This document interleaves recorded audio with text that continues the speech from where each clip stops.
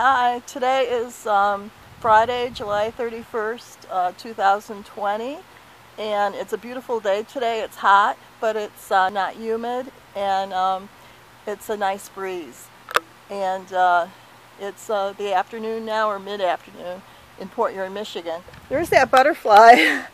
that butterfly comes around. Let's see if I can get it. There it is, see?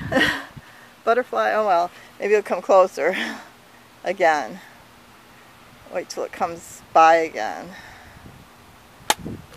Anyways, I um doing this video because I uh, it's white butterfly by the way, but I'm doing this video because this keeps falling down because I got my Alanis Morissette tape today, uh, CD music CD, and um, do the side here, and. Uh, waiting for that white butterfly to come back. And it's the Alanis Morissette, um, Such Pretty Forks in the Road. And um, I uh, pre-ordered it, but it was supposed to be shipped uh, September 17th, but today it came in the mail, um, FedEx.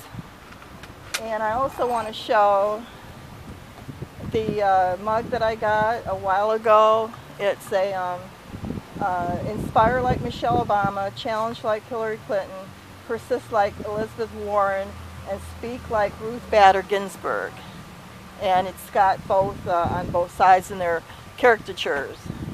Then I've got a mug I got uh, a while ago, back in 2007, of my mom. And this was at her birthday party. We went to a Greek restaurant in London, Ontario, Canada and it was uh, her birthday. So she was uh, 87 years old, and uh, it was on April 30th, 2007. She was born on April 30th, 1920. And uh, here's another close-up of the mug. Okay, so I guess I'll go. I guess that white butterfly is not going to come around now, so um, it is uh, a beautiful white butterfly. It comes around every year. Um, there used to be a milkweed plant, I think, on the other side by the manager's office here, and they took it down. Uh, milkweed, I think, causes blindness, but um, anyways, it uh, attracts butterflies or caterpillars. and they can become butterflies. Okay, so I'm going to go now, and here's the CD again in the mugs. Mom and her birthday. Happy birthday, Vera Rumford.